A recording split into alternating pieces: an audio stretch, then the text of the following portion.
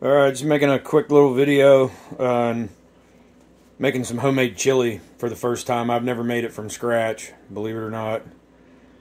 But uh, anyway, this is my first attempt at doing that. Anyway, um, I was going to pan around here. Unfortunately, um, I don't have any good way to record anything with a tripod or anything so I can multitask. So I've already made the chili and it's just sitting on the stove simmering, but um, anyway, just going to give you a little rundown here and uh, pan around back to the stove. So, but uh, yeah, it's actually looking and tasting pretty good. But I actually consulted my older brother, who is the chili cooking connoisseur. I got a couple of his special ingredients in there, as well as a couple of mine.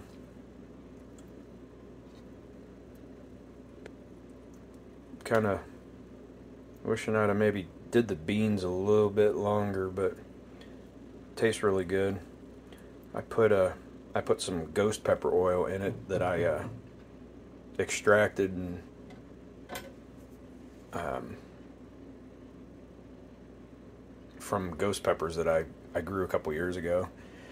It's not as hot as what you think. Um, once it's diluted in stuff like this, it's just gives it a little extra heat. That and some chili powder. But I wouldn't drink a shot of it or nothing, but anyway. But well that's simmering, but anyway, I was just gonna like pan a little bit here on the kitchen. I've been working on this house for a little while now. It's a built in 1928. Did the cabinets and floor and yeah, I got stuff sitting down there. I'm working on an electric outlet underneath the sink, trying to uh, get it power up from the basement for my UV sterilizer for my uh, reverse osmosis system. The only thing under there is a switched outlet for the garbage disposal, and that just won't work because it needs to be power all the time. But these cabinets were a real dark, shellac, glossy finish you know, homemade here on site in, uh, you know, this old house, but that wasn't my look. And they had these diamond patterns on the center of the doors, and I peeled all them off and then patched and wood fillered, and and this has quite a few coats of some special uh, cabinetry paint. It's a Sherwin-Williams color. It's called Repose Gray. It's the same as like Behr's shark fin or something like that, I think they call it. But yeah, there's stuff on the counters. I'm a single dude. Live by myself. I got a little dog. And I just got back from a week of fishing, so I've been on vacation, so if you don't like stuff on the countertops, close your eyes.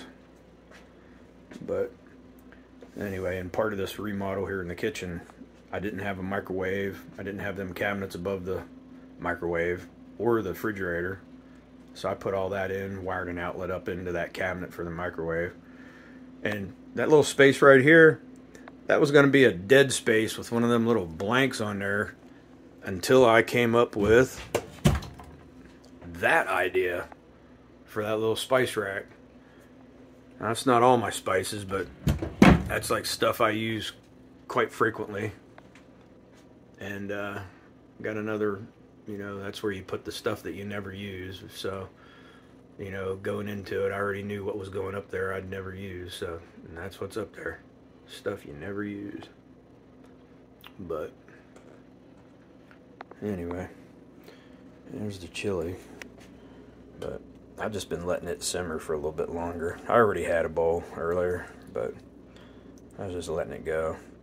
I got a bunch of extra beans over here too. I'm going to make a pot of uh, uh, ham and bean soup tomorrow. But anyway, this was all this tile. I had to do this. Um, had to level the floor. It took a while. It had a couple high and low spots, and I had to put those jack posts in down in the basement and then crank them a little bit and tighten them up.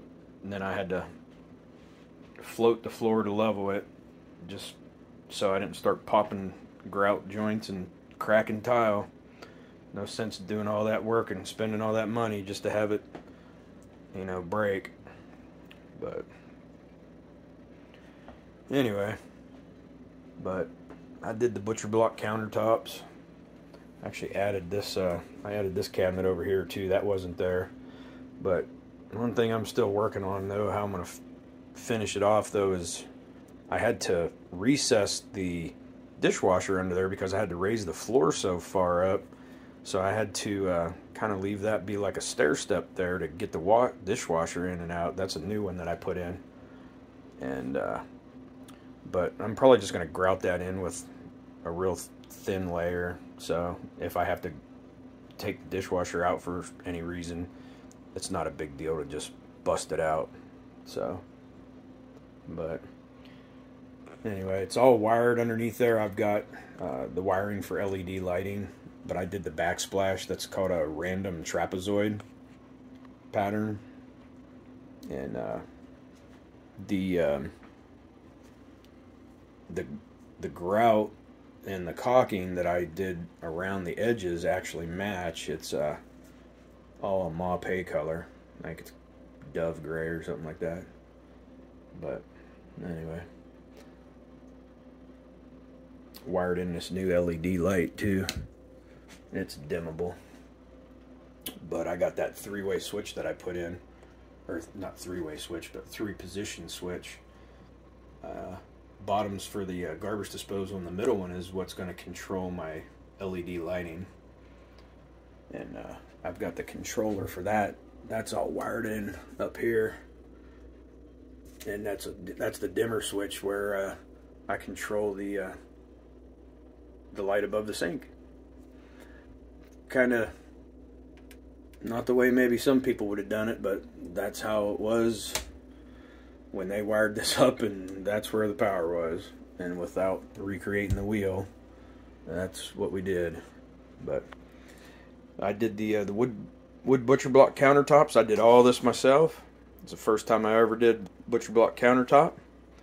And uh, I want to say I think I hope it turned out pretty good this uh, sink was a ordeal that was uh, I had to cut the cabinetry out and put that big old thing in there. It's an apron front farmhouse sink, and uh, it's just a Glacier Bay. It's a it's a nobody sink, but I spent the money where it counted, and that's the Moen Nori pre-rinse faucet. I love that thing, but and I got the giant cans over there for the utensils. Gotta love that kind of stuff. And then that little thing right there, that is a collapsible shelf that folds down when not in use, and it is a cutoff off of one of the countertops. And I got there's my extra beans that I'm going to use tomorrow in my my ham and bean soup. But anyway, uh, hope you enjoy. I know I kind of hijacked this post on cooking chili and kind of turned it into something about the kitchen, but anyway, just sharing my remodel with you. I'm uh, three years into a five year remodel. So, but I'm getting there. Getting there. Anyway, let's take one more look at the chili real quick before we sign off. See what's happening. I got some got some bubble action going on, so it's simmering nice. Simmering good. Anyway, I hope you guys enjoy. Maybe this makes you hungry and uh, makes you want to cook some homemade chili. Thanks for watching.